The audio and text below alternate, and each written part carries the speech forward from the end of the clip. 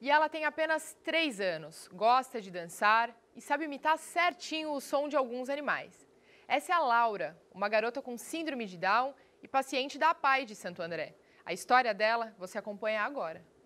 8 horas da manhã e lá está ela, a Laura, toda animada e com uma disposição de dar inveja para muita gente.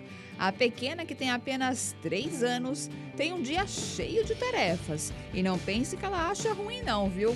E a primeira parada dela é na APAI, em Santo André. Meu nome é Renata, tenho 39 anos. É, tenho a Laura de 3 anos, que é um síndrome de Down, e tenho o Luca de 14. A PAI me ajudou muito porque a gente aprende tudo dentro da PAI.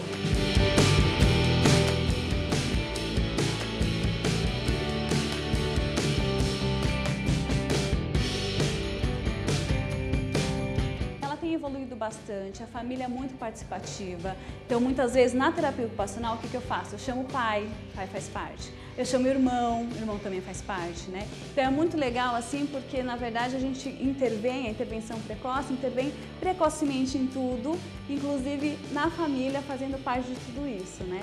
Então, assim, a evolução dela tá super, super bonitinha, graças a, ao empenho da família junto à equipe aqui de atendimento. A ideia é essa, trabalhar a independência e autonomia e a Laura está caminhando super bem e a família está de parabéns também. E é desta forma, sorrindo, fazendo pose, que a Laura nos mostra ser um verdadeiro exemplo de determinação e superação.